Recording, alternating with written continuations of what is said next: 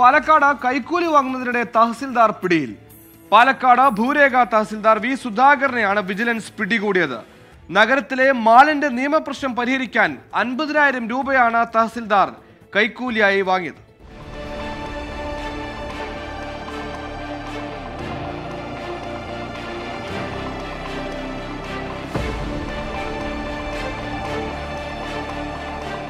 കഞ്ചിക്കോട്ടെ shopping മാളിന്റെ കൈവശാവകാശ രേഖയുമായി ബന്ധപ്പെട്ട നിയമപ്രശ്നം പരിഹരിക്കാൻ ഉടമ ഐസക്കിനെ തഹസീൽദാർ വി സുധാകരൻ നടത്തിച്ചത് മാസങ്ങളോളം. ഇതിനിടെ സ്കോച്ച് വിസ്കിയും പെർഫ്യൂമുകളും കൈക്കൂലിയായി സുധാകരൻ കൈപ്പറ്റി. ഒടുവിൽ കാര്യം നടക്കാൻ ആവശ്യപ്പെട്ടത് അഞ്ചു ലക്ഷം. അത്രയും നൽകാനാകില്ലെന്ന് പറഞ്ഞതോടെ ഇന്ന് വൈകിട്ട് ഓഫീസ് സമയം കഴിഞ്ഞ ശേഷം നേരിട്ടെത്താൻ നിർദ്ദേശം. മൊത്തം ഒരു ഒന്നര വർഷമായിട്ട് നടപടി ഓരോ കാര്യങ്ങൾ വൈകിപ്പിച്ചുകൊണ്ടിരിക്കുകയാണ്. ഓരോ വിഷയങ്ങൾ വരുമ്പോൾ അതിന് ഓരോ കാര്യം. ഇപ്പോൾ ലാസ്റ്റ് കെ ബി ടി പാസ്സായി കേരള ബിൽഡിംഗ് ടാക്സ് ഞങ്ങൾ പത്ത് ലക്ഷം റുപ്യ ഇപ്പോൾ കഴിഞ്ഞ ആഴ്ച അടച്ചു. അത് അടയ്ക്കാൻ ഞങ്ങൾ രണ്ട് കോടതി കയറി. ഇപ്പോൾ ഹൈക്കോടതി ഓർഡർ ഇട്ടിരിക്കുകയാണ് ഇത് കൊടുക്കൂ. ആറാഴ്ചക്കുള്ളിൽ കൊടുക്കാൻ. എന്നിട്ടും അദ്ദേഹത്തിന് അത് മനസ്സിലാക്കാൻ സാധിക്കില്ല. അദ്ദേഹം പണം മാത്രം.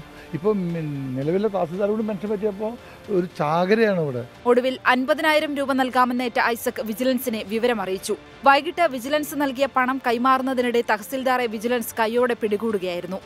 ഒരു പ്രാഥമിക പരിശോധന നടത്തി. ശേഷം ഒരു കഴമ്പുണ്ടെന്ന് ബോധ്യമായതിന്റെ അടിസ്ഥാനത്തിൽ ഒരു ട്രാപ്പ് നടപടികൾ പൂർത്തിയാക്കുകയായിരുന്നു. ഒരു പതി അഞ്ച് നാൽപ്പത്തി മൂന്ന് മണിക്ക് ഇയാളെ നടപടിക്രമങ്ങൾ പൂർത്തിയാക്കി അറസ്റ്റ് ചെയ്തു.